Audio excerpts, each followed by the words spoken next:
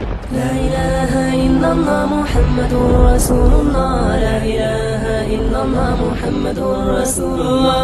لا إله إلا الله محمد رسول سبسکرائب کریں میرے چینل سید سعد قادری کو اور بیل آئیکن دبائیں میری ویڈیو سب سے پہلے دیکھنے کے لیے. السلام علیکم ورحمۃ اللہ وبرکاتہ. حوض کوثر پر امت کا ایک رش ہوگا.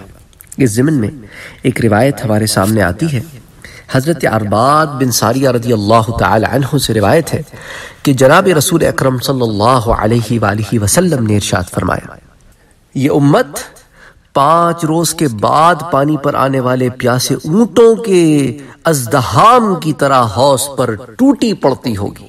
یعنی اتنے بے تابی سے لوگ جو ہے حوض کی طرف آئیں گے کہ گویا معلوم یہ ہوگا کہ یہ کئی روز کے پیاسے ہیں۔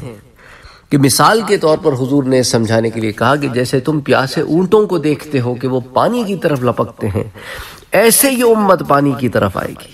اور وہ پانی بھی کون سا؟ حوض کوثر کا پانی۔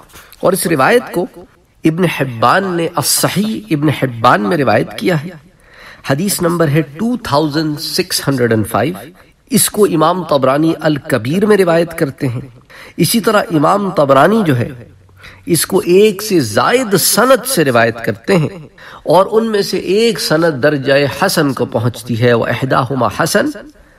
اسی طرح اس کو امام حیثمی المجمع الزوائد میں روایت کرتے ہیں۔ اگر آپ مجھے کانٹیکٹ کرنا چاہتے ہیں تو دیے گئے ای میل ایڈریس پر آپ مجھے ای میل کر سکتے ہیں۔ اسی طرح آپ ہمارے ٹویٹر کے اکاؤنٹ کو جوائن کر سکتے ہیں۔ انسٹاگرام پر آپ ہمیں فالو کر سکتے ہیں۔ اور فیس بک پر بھی آپ ہمارے ایک سے زائد پیجز ہیں۔ ایک انگلش میں، ایک اردو میں انہیں فالو کر سکتے ہیں۔ تو اگر آپ کو کوئی سوال ہے تو آپ یوٹیوب پر بھی پوچھ سکتے ہیں۔ اور ان اور مختلف پلیٹ فارم اگر آپ نے ابھی تک ہمارے چینل کو سبسکرائب نہیں کیا ہے تو سبسکرائب کا بٹن دبائیں، بیل کے آئیکن کو پریس کریں تاکہ آپ کو ریگولر نوٹیفیکیشن اپڈیٹ مل سکے اور آپ ہمیں ہمارے لائیو سیشنز میں بھی جوائن کر سکیں۔ ویڈیو پسند آنے کی صورت میں لائک شیئر اور کمنٹ کرنا نہ بھولیں۔